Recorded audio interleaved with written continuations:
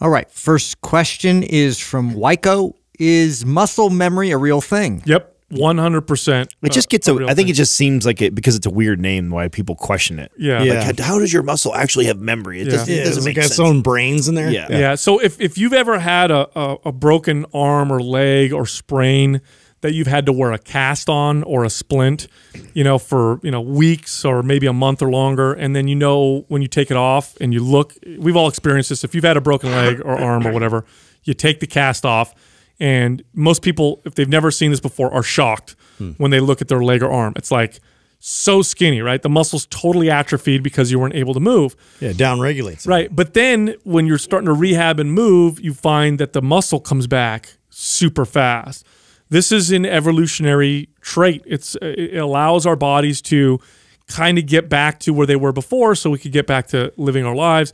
And this is true if you build muscle too. If you train and build muscle and then you lose it, it's much faster to regain it than it was the first time around. Not well, even- it, yeah. Do, do the muscles just shrink down? Obviously, you're not like really like getting rid of muscle cells. Mm-hmm. Like you're, it's just that this is more of a central nervous system thing where the now it responds again and then makes it a priority. Well, wouldn't it be like? Isn't it? it it's more so like it's a, a a neurological pathway that's been established and been connected very well, and so that still remains the same. The atrophy happens because you're not sending the signal for it to adapt anymore. So then it shrink it shrinks down. But then because the pathway has already been established really well, the minute that you decide, hey, I'm going to go back to lifting weights again, it remembers that instead of having to learn that. Like if you've never done a squat, there's a lot of stuff going on a neurological level, the body learning how to communicate in order to perform that. Once you've done that for hundreds, thousands of times, you've now established that pathway. It's there. It's like what you know is the saying that uh, you know you never or you once you learn to ride a bike, you can ride a bike forever type of deal, right? You may not have ridden a bike for ten years, but you get back on, your body remembers how to do that right away. I would think that it's a very similar adaptation process for building muscle again is that you've established a pathway, a very strong pathway. You may even if you stop lifting weights, sure the muscle atrophies because you're not sending a signal that you need muscle and it's an expensive tissue, so it shrinks or whatever. But then the pathway still is there. That communication has still been established. Yeah, there's a few theories. That's probably plays a role. Um, and then the other thing that they've observed is when muscle cells grow or hypertrophy, the number of satellite cells um, in muscles uh, increases. And these satellite cells are important. Um, they play a role in muscle protein synthesis, which is the fancy term for building muscle and recovery. And now, when you shrink that muscle, those satellite cells don't go away. So if you increase the number of satellite cells through the first round of building muscle, but then you atrophy muscle, although the muscle fiber gets smaller, those satellite cells stick around. So then when you go and lift weights again, it's like it's primed to respond faster. I mean, no joke, you know, it may it, might have took me years to gain 15 pounds of, of lean body mass on my frame, you know, working out. Like years. It might have took me five years of consistent, hard, good training to gain 15 pounds. I could stop working out and lose that 15 pounds in a very short period of time, probably, you know, six months to a year, especially if my diet was bad. I'm sure that 15 pounds would be gone. If I started lifting weights again, what took me years before would take me months. Yeah. I could very easily rebuild that muscle in a very, very uh, short period of time. I remember when I had shoulder surgery, you know, as an adult, um, I had uh, my my AC joint resected a little bit on, the, on my left shoulder. I had to wear a, a you know a brace or a cast or whatever. And when I took it off, it was like totally atrophied. My shoulder was atrophied, my arm was atrophied, my pec was atrophied. All the muscles that help move the arm were totally, totally weak and skinny.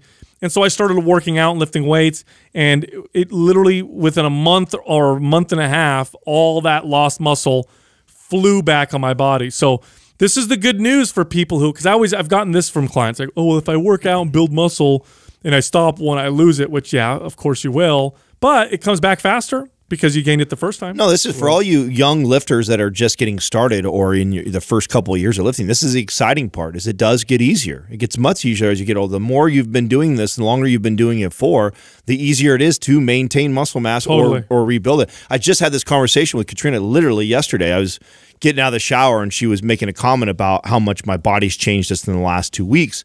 And she's like, I, she goes, it frustrates me sometimes to see how quick you can change. Like I say, and I was explaining to her, so you got to understand that You know, I barely got decades Yeah, I barely got her really strength, like programming, strength training right the last five years. Sure, she was an athlete and she exercised and she did a lot and she was in shape most of her life, but she hasn't been like really strength training until like the last five six years of our relationship. I said, you got to know that I've got 50, over 15 years, damn near 20 years of real consistency and some like a lot of hours in the gym of lifting. And it was a long grind for that first decade to get to a point. But now that I've I've gotten to that point, or I've gotten all the way up to where I've been 230 pounds and you know single digit body fat, my body has got used to that. So even when I fall way off, lose all kinds of Mm-hmm. muscle, it doesn't take very long. If I adjust the diet, I get back in the gym and start training again. My body remembers it, comes right Yeah, back. I was always telling clients this because they get so frustrated and they're like new to the the experience of lifting weights, and it's like you got you can't be so hard on yourself. You you literally it, it, that's all dependent on how long you've been in the gym and training your body in these patterns. So the, the more like you train your body in these patterns, the more hardwired it is. The more it the quicker it responds once you know you've been off for a bit. You come back. That's that's it's still a loud signal that all, all of a sudden gets turned back on. So yeah, when you get to the point where you've put so much work in, now you have to do is maintain. And that's the ideal place to be. Yeah, as an adult now, it is like it is so easy to maintain, you know, a 200, 205 pound uh, physique. Relatively muscular, relatively lean, super easy. Oh, it took my whole life to hit 200 pounds. You know, it took forever. Oh, when I was younger, I remember the you know when I when I was I was like I had to fight to stay above 200 pounds, and the anything I, if I was just off with anything, I'd shrink really quick. But now that I've maintained that for so long, it's easy. It's actually a piece of cake. I don't have to work out nearly as much or as hard to maintain the muscle that I've built uh, through the years. And there's something called you know muscle fiber hyperplasia. This probably happens after years and years and years of consistent, intense training, where muscle fibers actually you actually increase the number of muscle fibers you have. So although muscle fibers shrink and grow, once you increase the number, um, the evidence suggests that the number of muscle fibers never goes away.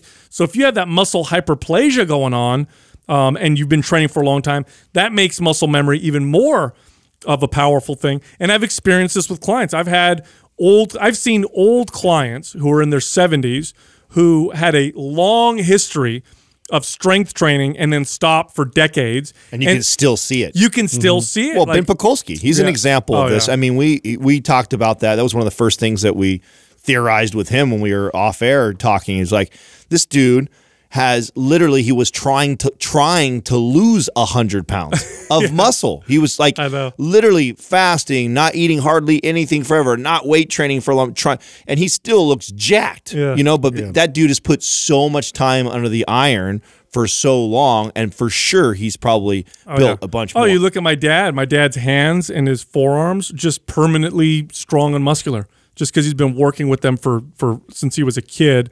So uh, yeah, the longer you stick with it, the easier it is to maintain, which is which is great news.